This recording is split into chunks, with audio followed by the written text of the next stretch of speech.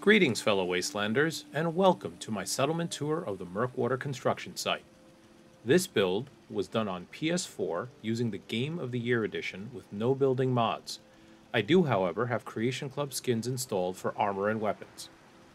In this playthrough, Murkwater was designated as the Railroad's Mercer Safe House, so I built this settlement as a combination Railroad slash Minutemen base of operations. Apologies up front for some of the drops in frame rate.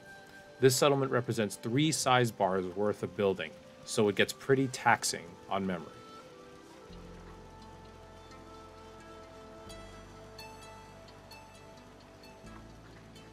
As we begin our tour, we take a look at the Sole Survivors Workshop. All my builds feature some version of a home away from Sanctuary for my Sole Survivor. When you arrive at Murkwater, the settlement workbench is inside an unfinished house. Using methods learned from the insane Shecklador, I was able to put walls up and add a roof onto this house frame. I then added additional prefabs to the exterior to extend out the structure a bit and give it an irregular shape that I like using in my more scrappy builds. Inside, we have tools, a power armor workstation, a weapons workbench, and of course, the actual settlement workbench itself.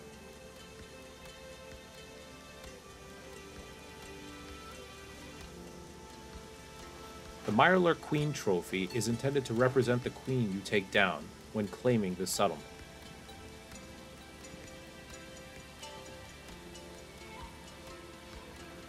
Murkwater has a swampy area in the middle, and I made it a point to build on top of this area.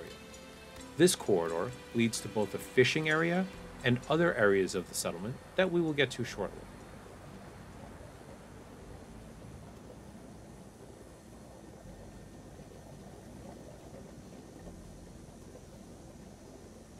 And here we get a glimpse of the construction vehicle that comes with the settlement, which cannot be scrapped.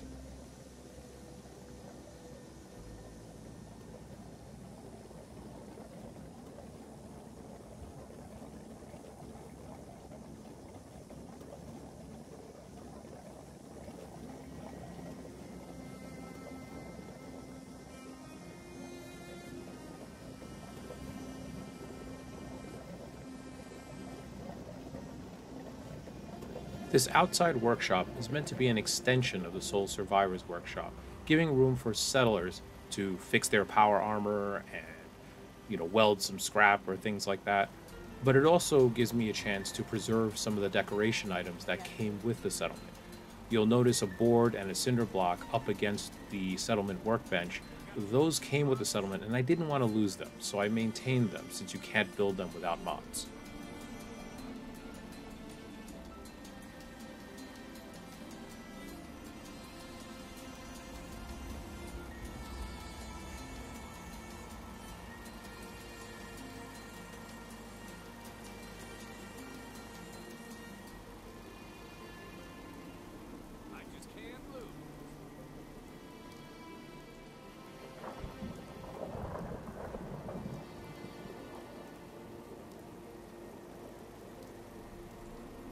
When you arrive at Mercer Safe House, a railroad agent called the Caretaker is already there waiting for you. He stays at the settlement, but does not act like a regular settler.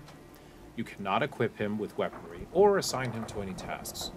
He does, however, hang around a specific area towards the front of the settlement, so I built this shack for him to live in. Here, he can also communicate with the railroad using the equipment inside. He also performs actions associated with items nearby, such as sitting in chairs and having a drink, or cooking at the cooking station. This adds a bit of life to the settlement, and it gives him something to do other than just walking around aimlessly.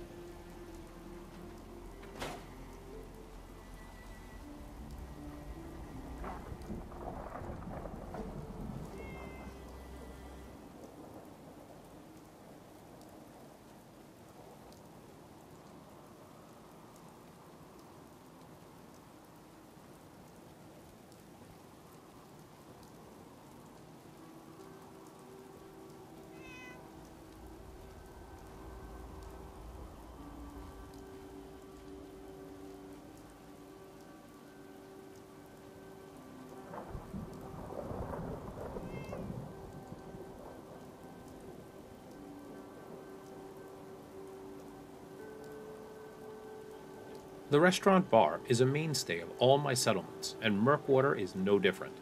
To that end, we have the Grub and Chug, a place for settlers to hang out, grab a drink, enjoy some music, and get some eats.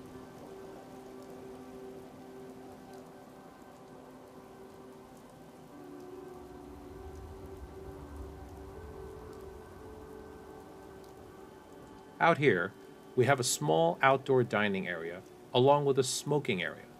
The candles inside the ashtray is a wonderful piece I learned early on in my building days from the Skooled Zone.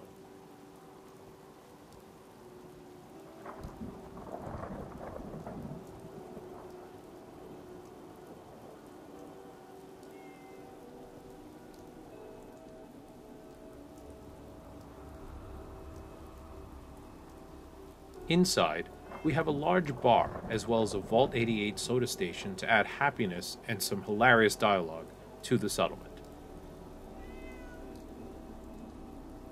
I don't know how much more I got of this. Some Blamco mac and cheese. Or maybe steaks with sauce. The bar restaurant also has a guard station inside. At first, the idea was to have a guard overlooking some of the swampy area where people might invade, but it seems a little odd, but I like to think the settlers would like to feel safe while dining, and the guard can also sort of double as a bouncer.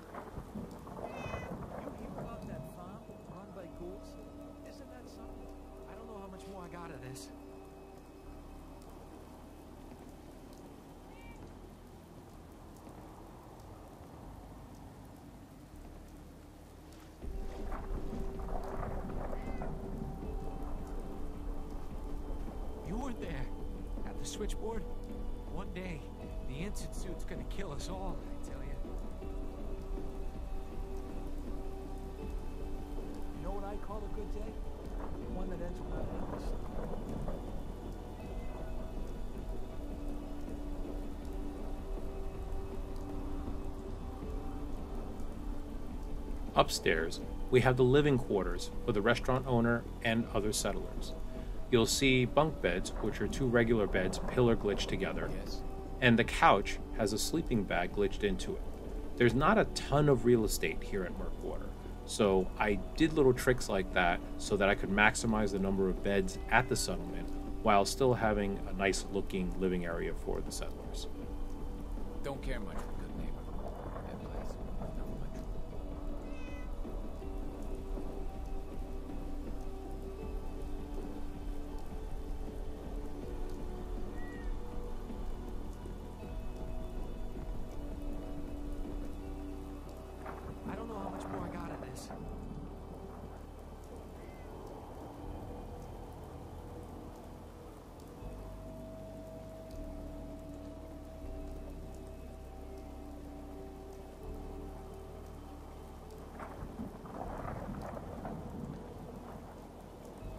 You now see how the bar restaurant connects to the Sole Survivors workshop via this ramp.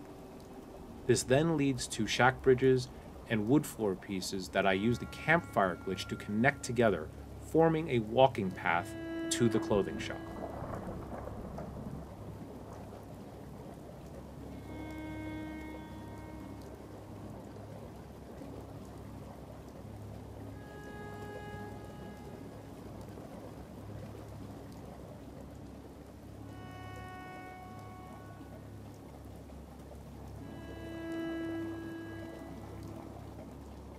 Clothing shops are another mainstay at my settlements, since they provide happiness.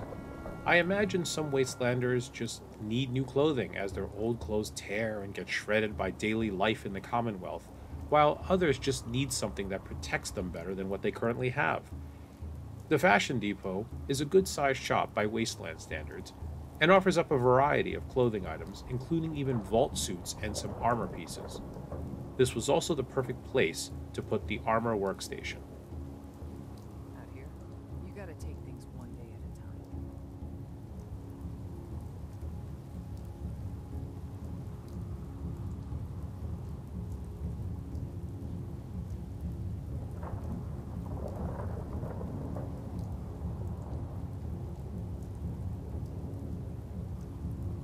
If you work, you eat. It's simple as that.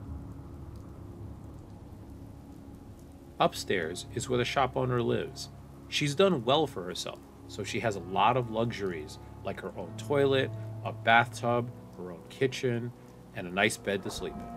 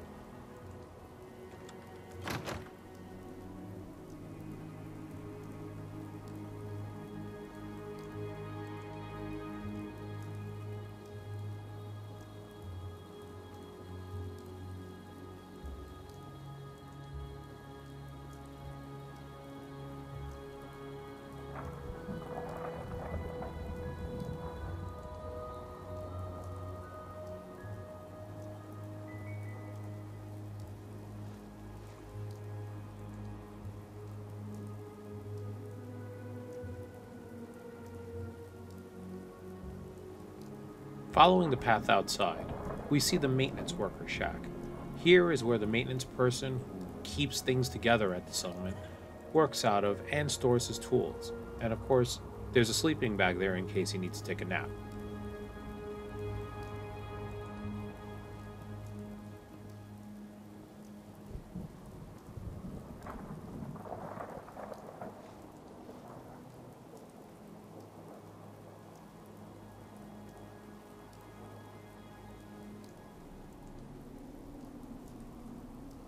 From here, we are led to the waiting area for the clinic downstairs. This view also gives us a look at the corpse of the Mirelurk queen that I had to fight in order to gain this settlement. I have heard and read online that this queen respawns, but several months into building this settlement, and the corpse has never vanished, and she has never respawned.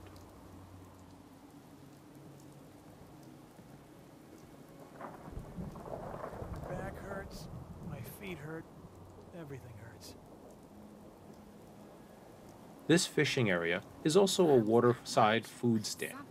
I glitched a grill into the shop to make it look like the vendor is cooking food for customers street food style.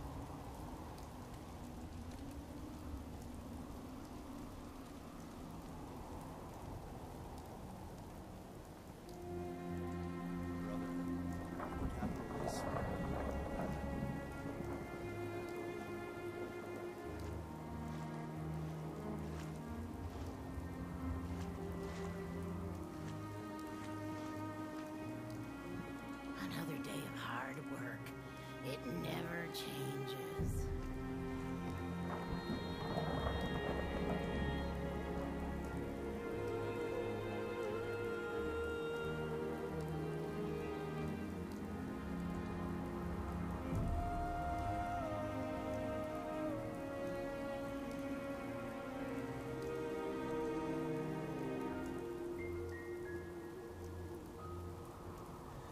The clinic has a large clinic inside of it and a Phoropter for additional happiness points.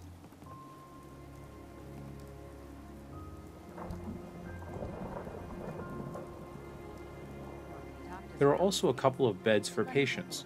Those who stay here also get a view of the Mirelurk Queen's remains.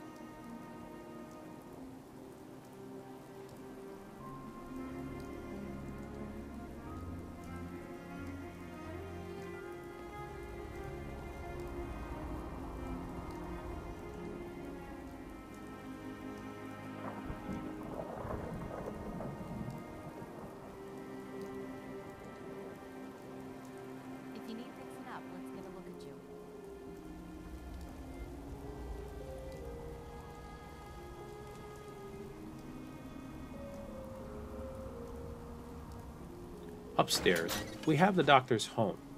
While the doctor does take care of the settlers well from a medical perspective, uh, the doctor has some funny ideas, uh, believing a little bit in the children of Adam, also being a little paranoid, hence the choice of decorations. Truly, I just wanted to use some of the decorations here that I don't always use, and that includes the posters that are up by the bed.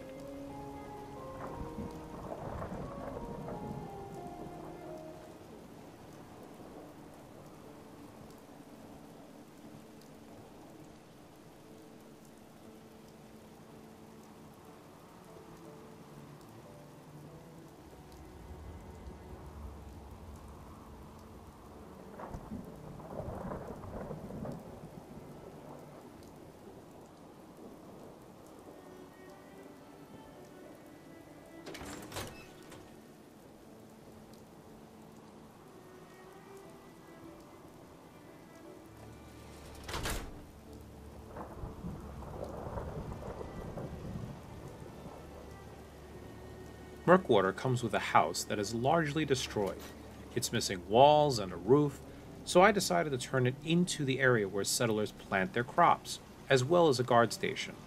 Unfortunately, while recording this video, I dashed by it way too quickly, but there are crops both inside and outside of the structure.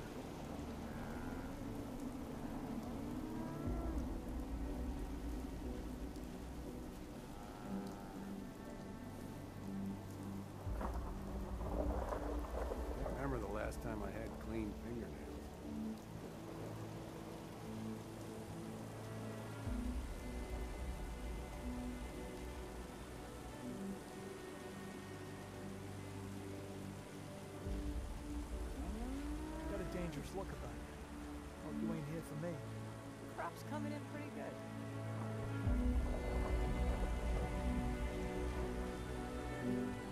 Keeping in mind that Murkwater is the Mercer safe house for the railroad, I wanted to design a structure that embodied some of the principles of the railroad subterfuge and saving synths. To that end, I built the Murkwater Nuka Cade.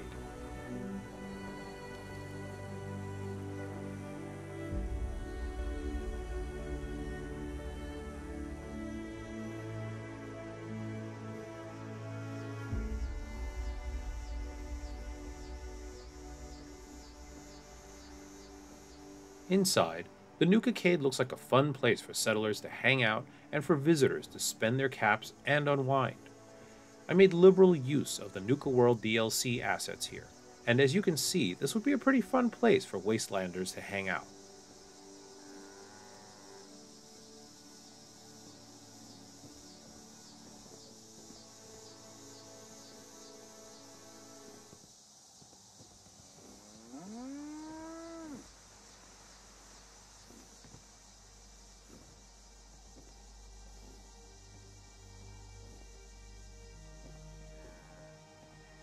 Now, sadly, the vendor here does not actually sell anything or act as a trader. Uh, the vendor only gives standard settler dialogue if you speak to her. I suspect this is due to the been up to position of the structure in the settlement, which is right at the edge of the build border and partly on a swampy section. For trouble, I hope. Easy living, this ain't.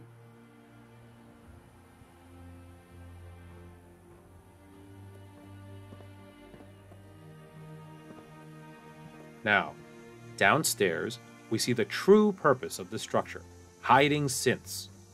Here, we see a hideout area for synths to stay while they're being moved in or out of the Commonwealth. I littered this area with random stuff, including even a crib, which I've never used in a settlement before, and a baseball statue. The idea was for it to look like a basement full of old clutter. However, there are beds for synths to rest and restroom facilities for anyone hiding here to clean up. And of course, this gave you a chance to throw a random weight bench in to add some happiness to the settlement.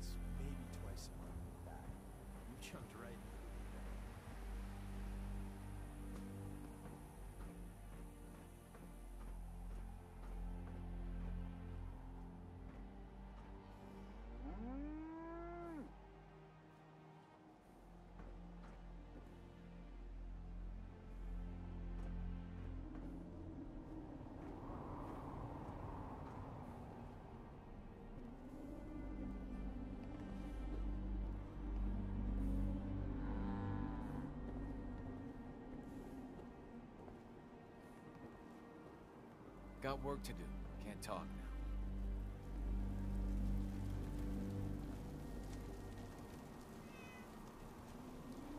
I don't know how much more I got of this.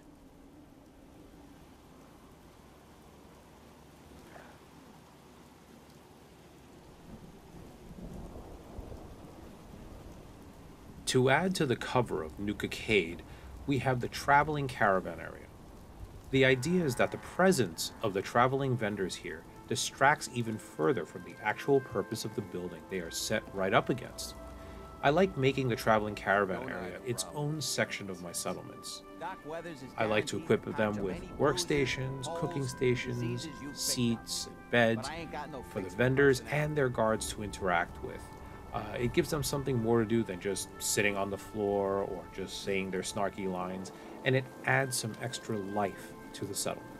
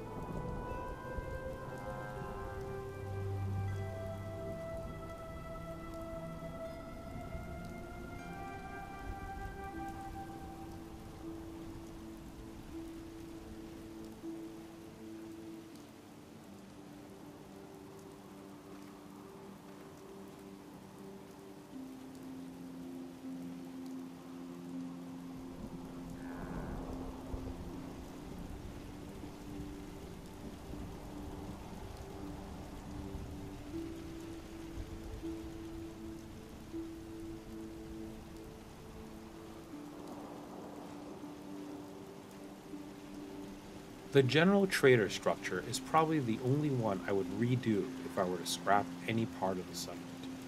I like the structure overall, with its mixed materials and the way the shop is glitched into the metal entrance wall. Unfortunately, the weeds that stick up out of the ground are way too intrusive in the interior for my taste. In retrospect, I really should have elevated the entire structure off the ground, either using shack foundations or scaffolding, and that way I could have avoided that and made a tidier shop and a tidier home for that trader.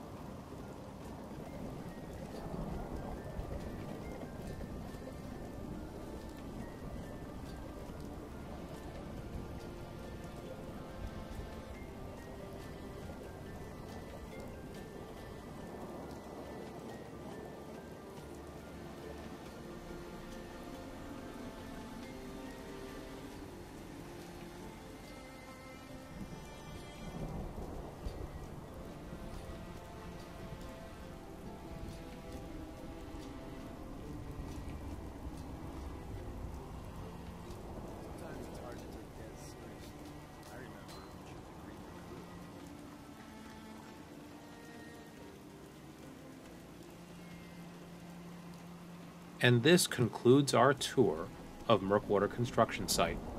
Thank you all for taking the time to watch this video. If you enjoyed this tour, please hit the like button below, and all kind comments are deeply appreciated. Stay safe in the Commonwealth, Wastelanders. This is Ben Yee, signing off.